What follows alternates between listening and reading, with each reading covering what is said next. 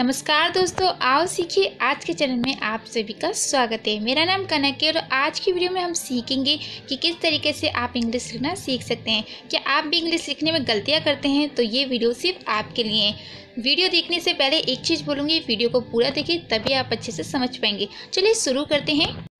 अगर आप हमारी और वीडियो देखना चाहते हैं तो लाल कलर का बटन दबा दीजिए, सब्सक्राइब का जैसे कि आप देख रहे हैं। उसके बाद एक घंटी बनी आएगी, उस पर टच कर दें ताकि आप हमारी और वीडियो देख सकें।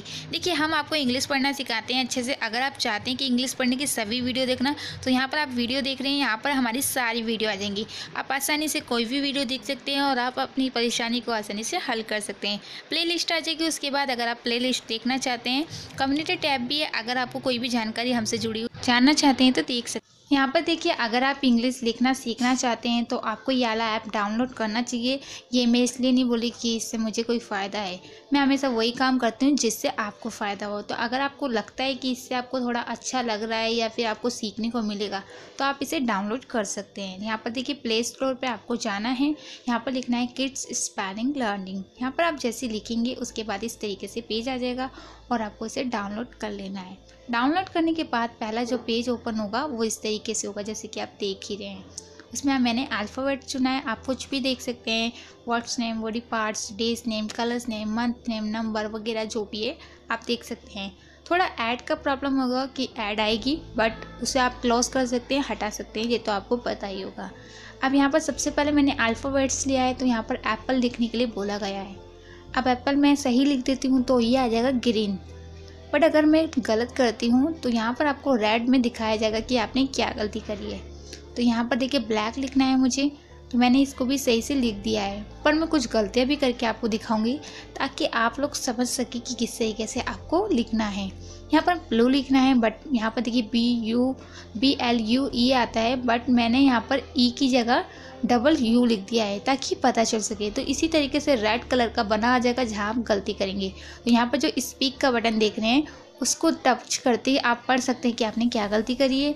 और हेल्प का जो बटन था, जिसमें आपने देखा भी उससे आपको आसानी से दोबारा से वो वर्ड्स लिखा हुआ सही से आ जाएगा ताकि आपको पता चल जाए कि आपने क्या गलती करी है। अब यहाँ पर ब्राउन है। अब ब्राउन को अगर आप गलत करते हैं तो वहाँ पर रेड आ जाएगा। बट अगर आपको नहीं पता है कि इसको किस तरीके से लिखना है तो आप हेल्प का बटन दबा के उसे देख सकते हैं कि इसे किस तरीके से लिखना है। उसके बाद आप प्रैक्टिस कर सकते हैं अच्छे से। आपको अगर बोरिंग लगे तो आप ज़्यादा मत कीजिए थोड़ा थोड़ा कीजिए ताकि आप आगे अच्छे से लिख सकें।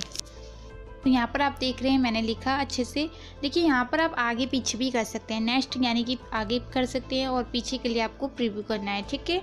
उसके बाद देखिए, यहाँ पर मैंने ऑरेंज लिखा है तो मैंने जानबूझ के गलत लिख दिया है, ताकि आपको पता चल सके कि आप जब गलती करेंगे तो आपको किस तरीके से बताया जाएगा। तो यहाँ पर आप देखिए स्पीक करके भी देख सकते हैं कि आपको, अगर आपने कुछ गलत लिखा है तो उसको किस तरीके से पढ़ा जा रहा है। तो बहुत ही इंटरेस्टिंग होता है अगर आप इस तरीके से सुनते हैं बट आपको हेल्प के थ्रू आपको पता चल जाएगा कि आपने क्या गलती करी है।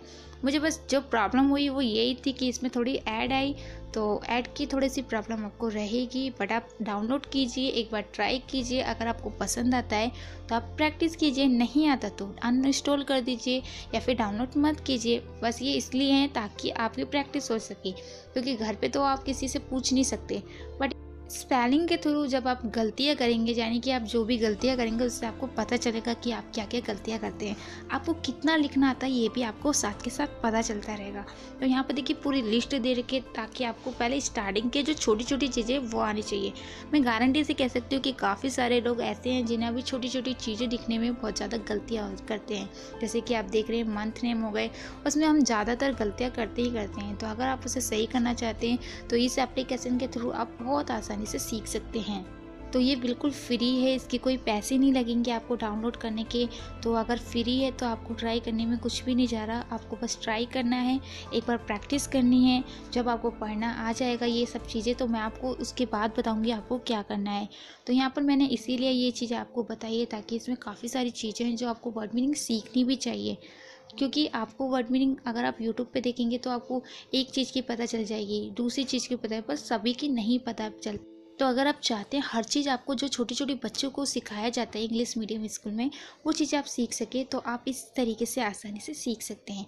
यहाँ पर देखिए ट्रांसपोर्ट नेम है, जो आपको पता होना चाहिए बाईसाइकिल हो गया, बस हो गया, ट्रेन हो गया, ये सब चीज़ें हमें पता तो होती है, बट हम इसे लिख नहीं पाते तो उसको किस तरीके से आप सही कर सकते हैं, वो मैं आपको सही तरीके से बता रही हूँ। तो यहाँ पर देखिए बाईसाइकिल किस तरीके से लिखनी है, बता रखा है अगर खुद लिखिए, पहले आप देख लीजिए, हेल्प के थ्रू आप देखिए कि इसको किस तरीके से लिखना है। फिर उसको आप दोबारा से खुद लिखिए। मुझे पता है आप बहुत सारी गलतियाँ करेंगे, पर गलतियाँ करोगे तभी तो तभी तो आप सीख पाओगे। तो अगर आपको ये ऐप अच्छा लग रहा है और आपको चाहते हैं कि आप अच्छे से इंग्लिश लिखना सीख पाएँ तो मैं यही बोलूँगी कि आप इसे डाउनलोड कीजिए और इसे सीखना शुरू कर दीजिए। यानी कि जब तक आप कोशिश नहीं करेंगे, आपको कुछ नहीं आएगा तो यहाँ पर आपको अच्छे से समझ में आ रहा होगा। जो चीज़ नहीं आ रही है, कुछ सब प्रॉब्लम है तो आप मुझे बता सकते हैं, मैं आपकी हेल्प करूँगी। तो यहाँ पर देखिए सेप नेम यानी कि यहाँ पर आपको एरो लिखना आता है या नहीं आता है, ये आपको सिखाया जाएगा, अच्छे से प्रैक्टिस कराई जाएगी। जाएगी हर चीज़ की। वैसे तो ये छोटे बच्चों के लिए, पर अगर आपको नहीं आता तो आपको वही वही चीज़ें सीखनी पड़ेगी जो छोटे बच्चे सीखते हैं। तो अगर आप ये चीज़ें सीख जाते हैं तो आपको काफ़ी ज़्यादा इंग्लिश आ जाएगी। अगर आपको ये भी नहीं चीज़ आती तो आप खुद सोचिए कि आपका फ्यूचर क्या होगा। तो मैं आपसे इतनी राय दूँगी आपको कि आप ये चीज़ सीखिए, और अगर आप इससे नहीं सीखना चाहते तो किसी और तरीके से सीखिए, बट सीखिए ज़रूर। ठीक है? तो यहाँ पर आपको अच्छा लगा होगा या आप, आप यहाँ पर आपने लिस्ट भी देखी होगी क्या क्या चीज़ें आपको सीखने को मिलेगी। तो चलिए चलते हैं बाकी मैं यही कहूँगी कि अच्छे से प्रैक्टिस कीजिए पढ़ते रहिए और हमेशा अपनी लाइफ में खुश रहिए।